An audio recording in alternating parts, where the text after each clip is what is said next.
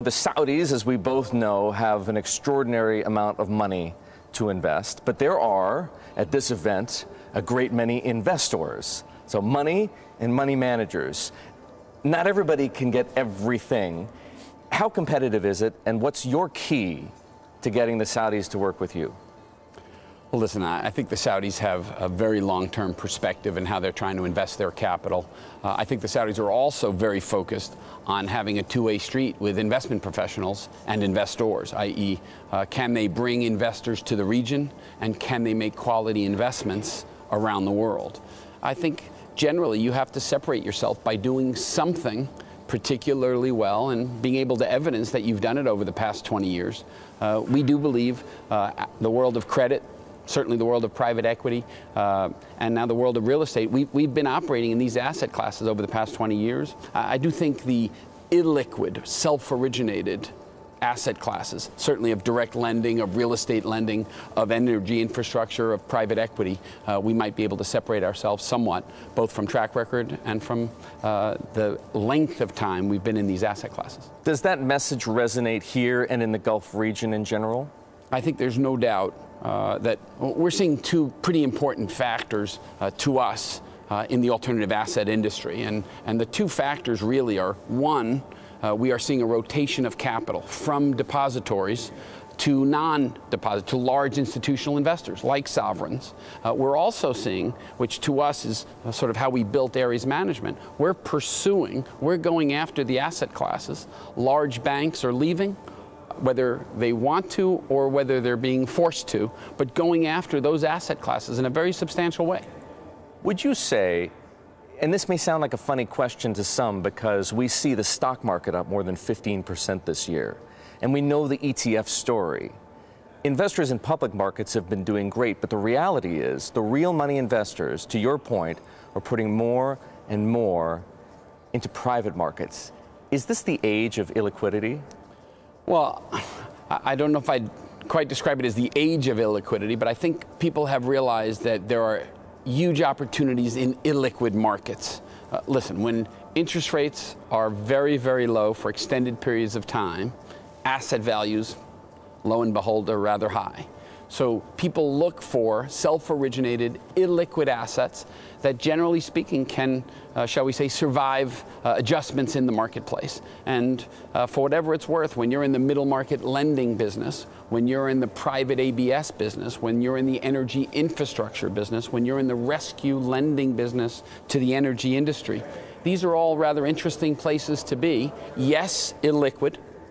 On the other hand, uh, meaningful performers in, all types of markets. They generate a higher rate of return. No doubt. And uh, as you saw in today's opening, uh, we had several large uh, world class investors talking about uh, expected returns for their investors. In the single digits? Uh, I would say uh, 3 to 4% is very much in the single digits, at least that I heard at the opening ceremony and discussion. Uh, and let's face it, uh, the alternative asset manager and our business model is here to generate 8 to 10% returns in credit and 15 to 20% returns in private equity. Uh, and yes, yes, we are far less liquid in many of our products, but we think we uh, pay our investor for that liquidity. So, Tony, you and Ares have been successful in finding those private markets and those, if you will, illiquid opportunities enough to grow your firm to triple it really over the past 10 years to $108 billion in assets now. But as more and more money chases those opportunities, in part fueled by investments from Saudi Arabia and other countries, are those opportunities disappearing? Well, uh, it depends on the market, of course. But uh, as far as we're concerned, as, as we talked about this, shall we say, transition from bank balance sheets to non bank balance sheets, uh, the origination of middle market lending uh, once existed on the balance sheet of large banks now is moving off. So uh, this asset class is much, much larger than many folks in the marketplace might appreciate. Uh, so our view is uh, yes, at some point uh, competition changes, and certainly people uh, should expect lower rates of return in certain areas. But generally speaking, in private credit, we're big believers and continue to be. You may be aware, Tony, that uh, a decade ago, uh, Wolfgang Schäuble, the outgoing finance minister of Germany, suggested that the rising amount of debt could trigger the next crisis, and of course, he was spot on.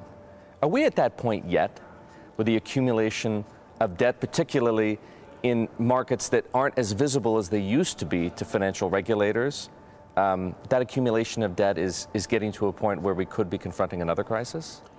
I look at 2017, 2018 uh, very, very differently than how we perceived 2007, uh, 2008, 2009. Uh, the financial institutions were so much more levered and so much less transparent in the 2007 2008 period.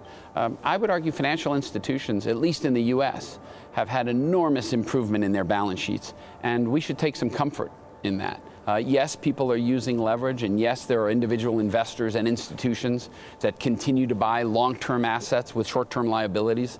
Yes, you should scratch your head over that. But, but that's, a, that's an institutional issue. I don't think that's a market risk as much as I believe it's an investor or institutional risk. What about uh, underwriting standards? The longer a credit cycle goes on, the looser they tend to become. This credit cycle is getting pretty long in the tooth. How loose are those lending standards? Well, listen, there's no doubt that when interest rates are this low, asset values, uh, shall we say, are somewhat inflated. And yes, I, I, do believe if you're an investor in credit, as an example, you should know who uh, in, your, your, investment professionals are. I, think credit matters. The analysis and evaluation of credit matters. Uh, we're living in a world with very low interest rates and very low default rates. So, uh, generally speaking, uh, this will come home to roost at some point, no doubt. We see it well, we saw it a year ago in the energy industry as an example. And uh, all I'm trying to point out is that you have to evaluate credit quality if you're in the credit business. Um, and some people have forgotten that, I believe. You see it from both sides, right? As a private equity investor, PIK toggles and Cov-Lite loans are wonderful. But as a underwriter, well, please understand, as I talk about credit, uh, I know appreciate uh, being in the private equity business, being in the self-originated direct lending business, and being in the syndicated loan and high yield bond business. Uh, it's an enormous advantage to really be in all of those asset classes, if you will, because you do compare and contrast, and you do try to go where uh, the opportunity is most attractive. How long do you think alternative asset managers like Ares and I could name a few others in your ballpark Carlyle, Blackstone, of course, KKR, TPG. Haven't heard of those guys. Huh? Never. Oaktree, let's throw them in as well. For how much longer can they continue growing at the pace they've been growing? Not all of those firms have tripled assets in the past 10 years, but they're all at $100 billion or more. Sure. Well, listen, uh, in terms of, uh, for most folks in the asset management business, hopefully they would agree, it's not about uh, the rapid growth in these. We, we actually uh, could have grown meaningfully faster than we have. Uh, our view really? is, are you growing with assets uh, that are, in fact, assets you manage well, assets that you have lockups, a- assets that you can live through bumps in the road. So, as far as I'm concerned, and I'll bet uh, most of our uh, friendly competitors would agree, it's not really about your growth. It's are you growing into assets that you're outperforming uh, for your investors? And, and at the end of the day, we see a whole lot of assets, as I keep saying, and I am repeating myself, but a whole lot of assets that are moving off the balance sheet of institutions that used to own them and frankly are no longer the right type of institution. Middle market loans should not be on banking institutions that have 15 times leverage and frankly are, residing, if you will, on the balance sheet of sovereigns or investment firms like ours. So these are clearly good times. You're finding opportunities.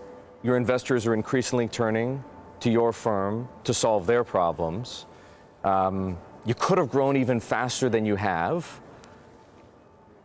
what isn't going right? What concerns you? What keeps you up? Well, uh, listen, if you're in the asset management business, you should be concerned about uh, asset prices and low interest rates. And at the end of the day, uh, we aren't, uh, and generally aren't approached by investors to stay in cash.